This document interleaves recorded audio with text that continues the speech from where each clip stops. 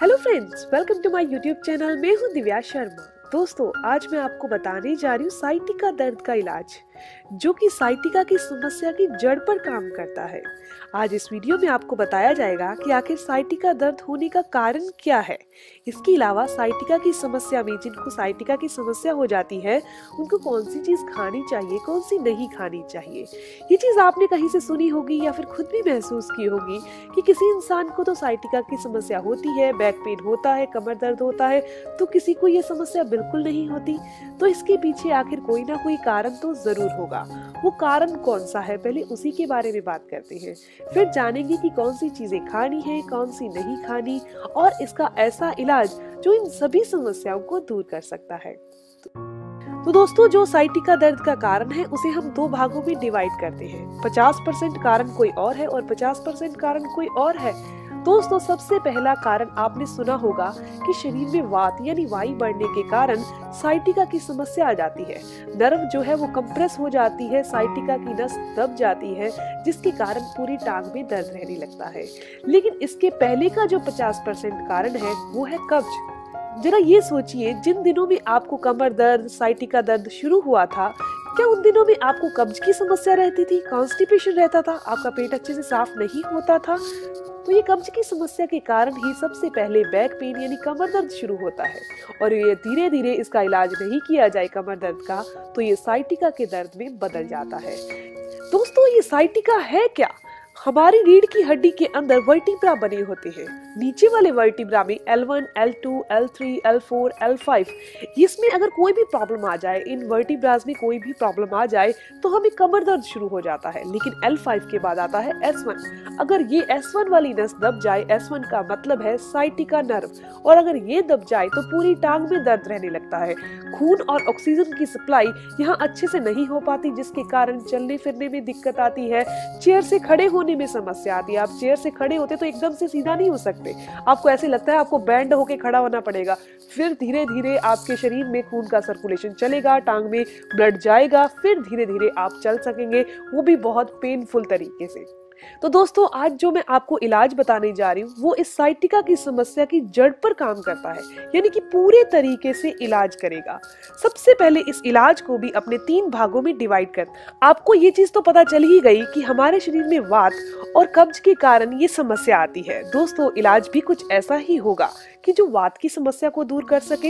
हमारे शरीर में साइटिका की नर्व दबने के कारण जो स्वेलिंग और सूजन आ चुकी है, ऐठन आ चुकी है, वो भी दूर हो जाए और ये नस भी खुल जाए। तो दोस्तों, इलाज में सबसे पहले काम आपने क्या करना है? अपनी बैक पर यानी कि कमर पर और पूरी टांग पर मसाज करनी है। अब मसाज के लिए कौन सा तेल लेना है? आपने तिल का तेल लेना है। उसके अंदर आपने आधा चम्मच 100 ग्राम तिल का तेल ले लीजिए। आधा चम्मच इसके अंदर जयफल डाल लीजिए इस तेल से आपने अपनी कमर पर और पूरी टांग पर मसाज करनी है। अगर हो सके तो मसाज के बाद आप अपनी बॉडी को स्टीम ज़रूर दें और स्पेशली बैक यानी कमर को स्टीम ज़रूर दें, ताकि वहाँ आई ऐठन और जकड़न दूर हो जाए। खिंचाव जो आ रहा है नसों में वो दूर हो जाए, ताकि वहाँ की जो नर्व्स हैं और मसल्स हैं, वो रिलैक्स हो जाए, लचीली हो जाए। अब बात करते हैं दूसरे इलाज के बारे में। दूसरा इलाज ऐसा है, जो कि दबी हुई नस को खोलने का ही काम करता है। ये बहुत ही सटीक है। ये आयुर्वेद की एक ऐसी औषधि है, जो नसों को खोलने का ही काम करती है, दबी हुई नस को सही करने का काम करती है। यानी कि इस साइटिका की समस्या की जड़ पर ही काम करेगी। आपने हार श्रृंगार का नाम सुना होगा। अगर आप हार श्रृंगार का इस्तेमाल कर चुके हैं और आपको फ़ायदे नहीं हुए तो आपने इसका इस्तेमाल गलत तरीके से किया होगा। तो मैं आज आपको बताने जा रही हूँ, इसका इस्तेमाल का सही तरीका क्या है। आपने हार श्रृंगार के पाँच से सात पत्ते लेने हैं और उनकी अच्छी से चटनी बना लेनी है। अगर आप इसे काट रहे हैं या फिर हल्का हल्का सा क्रश कर रहे हैं तो इसका फ़ायदा सच में आपको नहीं होने वाला। तो दोस्तों, आपने इसकी चटनी बनानी है हार श्रृंगार के पत्तों की, सिर्फ़ पाँच से सात की और एक गिलास पानी में भिगो कर रख देनी है रात को। को। सुबह इस पानी को आधा गिलास और डालकर उबालना है। जब पानी एक गिलास रह जाए, तब आपने इसको हल्का सा गुनगुना करना है, यानी हल्का सा ठंडा करके चाय की तरह पीना है। ऐसा करने से साइटिका की दबी हुई नस या फिर शरीर में कहीं भी दबी हुई नस हो, वो ठीक हो जाती है। क्योंकि ये आयुर्वेद की ऐसी दवाई है, ऐसी औषधि है, जो कि दबी हुई नसों को खोलने का काम करती है, सूजन को दूर करती है। तो अब बात करते हैं साइटिका के तीसरे इलाज के बारे में। दोस्तों, आपको ये चीज़ तो पता चल गई कि कॉन्स्टिपेशन यानी कि कब्ज और वात के बढ़ने से शरीर में ये समस्या आ रही है। तो शरीर में से वात को दूर करने के लिए आपको एक इलाज और करना है, वो आपने शाम के टाइम करना है। लेकिन उसके लिए आपने सुबह एक चीज़ करनी है कि एक गिलास पानी के अंदर एक चम्मच मेथी दाना भिगो कर रख दीजिए। इसके साथ आपने लेना है एलोवेरा। दोस्तों, एलोवेरा का अभी कुछ नहीं करना।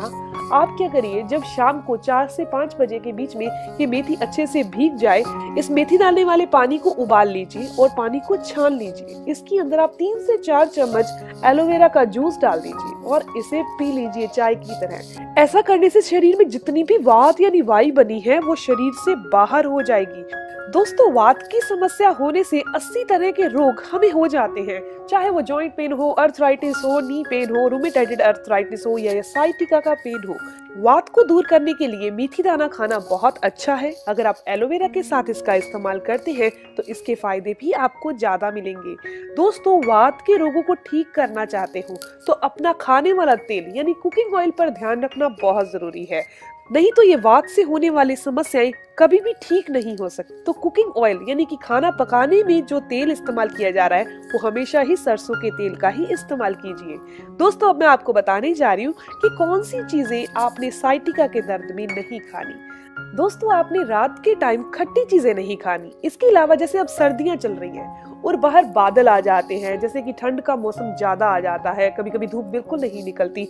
बाहर बादल आ चुके हैं, चाहे सर्दी हो या गर्मी फिर भी आपने खट्टी चीज़ें नहीं खानी, क्योंकि उस टाइम बाहर बादल है, आप खट्टी चीज़ें खाएँगे तो शरीर में वात और वाई ज़्यादा बनने लगेगी। तो दोस्तों, इस चीज़ का ज़रूर ध्यान रखिएगा। इसके अलावा आपने एनिमल प्रोटीन नहीं लेना रिफाइंड वाली चीज़ों का इस्तेमाल नहीं करना, जैसे कि रिफाइंड ऑयल का इस्तेमाल नहीं करना रिफाइंड चीनी का इस्तेमाल नहीं करना रिफाइंड नमक का इस्तेमाल नहीं करना।